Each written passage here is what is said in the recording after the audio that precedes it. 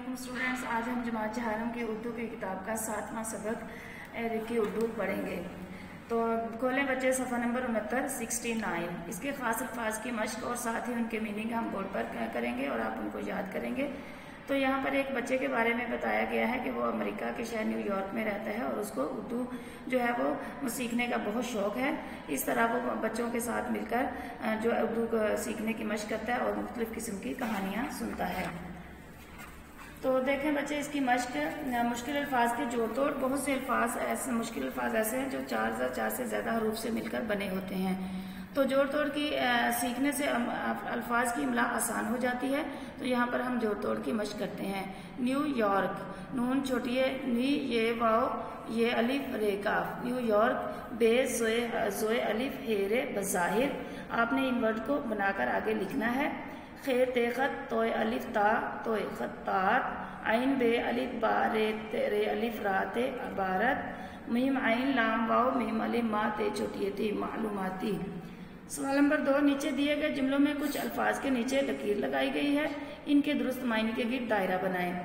दानियाल ने उर्दू सिखाने की हामी भर ली। हामी भरना मीन राज़ी होना, रजामंदी ज़ाहिर करना। इसी तरह बच्चे आप इन इसी तरह बच्चे आप बुक रीडिंग करके इसको जो है वो अच्छे तरीके से समझ कर सॉल्व करेंगे। ये सवाल नंबर दो को। उसके बाद है सवाल नंबर तीन जुमले।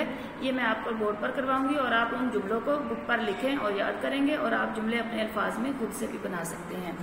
उसके बाद है सवाल के जवाब, ये भी हम बोर्ड पर करेंगे। उसके बाद है सवाल नंबर पाँच, वाहिद जमा, हे हटाकर अलिफ्ते लगाकर जमा बनानी है, ये भी मैं आपको बोर्ड पर मश करवाऊँगी।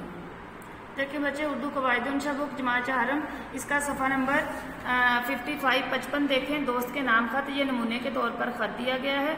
आपने इसको याद करना है और इसकी प्रैक्टिस करनी है और आप अगर इसको ये बड़ा लगे तो आप इसको शॉर्ट भी कर सकते हैं और इसको इसको अपने अल्फाज में लिख कर याद करेंगे। उसके बाद है सफ़ा नंबर छप्पन।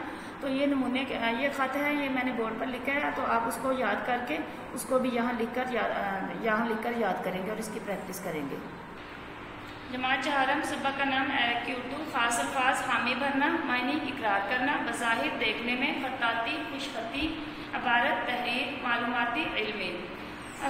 सवाल नंबर तीन, अल्फाज के जुमले बनाए। हामी भरना, दानियाल ने उर्दू सिखाने की हामी भरी। बज़ाहिर उर्दू के कुछ हरू बज़ाहिर एक जैसे हैं।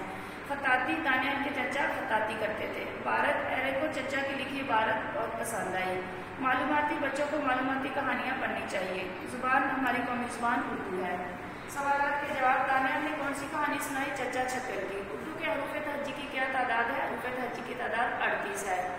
थर्टी एट दानियाल के चचा क्या काम करते थे? दानियाल के चचा खताती करते थे। अरे, कौन से दो अल्फाज गलत इस्तेमाल करता था? खाने, कहाने। अल्फाज की जमा। आला आलात तजर्बा, तजर्बात वाक़ वाक़ात खतरा, खतरात। तो ये देखिए बच्चे, खत, इसको आपने यहाँ से याद करके उसको बुक पर लिखना है। कमरा इम्तिहान पंद्रह मई 2020 प्यारे दोस्त, अपने दोस्त का नाम लिखेंगे आप। वालेकुम, तुम्हारा क्या हाल है?